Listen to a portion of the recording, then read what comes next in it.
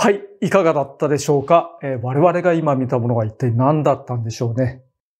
というわけで、えー、世界で最も売れたゲーム、マインクラフトスマブラに参戦です。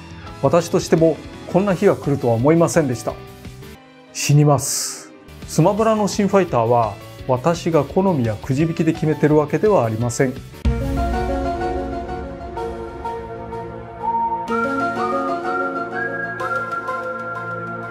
任天堂の担当者が来て言うわけですよ。桜井さん、マインクラフトってスマブラに入れられないですかねって。メガネをクイックイってあげながら。簡単に言ってくれますよね。マインクラフトってどういうゲームだか知ってます？もう駆け引きとかを成立させながら、あのゲームをスマブラに落とし込む。そりゃ無理でしょ。とっても難しいです。だから、はっきりビシッと言ってやりましたよ。はい、できます。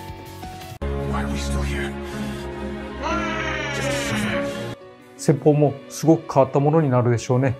だけれども、なんとか発売にこぎつけられそうになってきたので、え今日お知らせと、え参戦ムービーの、えご報告をした次第です。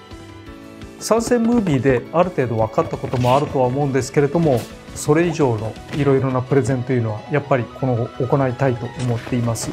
今までのファイターとは全く異なる要素が多数あると思いますのでよく見て、えー、使い方を知っていただければ幸いです、えー、その放送はこちらです。マインクラフトライブの直前に機械を持ち改めて説明することが決まりました。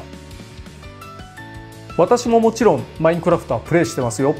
えー、クラフトモードで、え美麗建築などはしないですけれどもサバイバルモードで生き残りや街の繁栄などを楽しんでいたりします。とりあえず今日はここまで。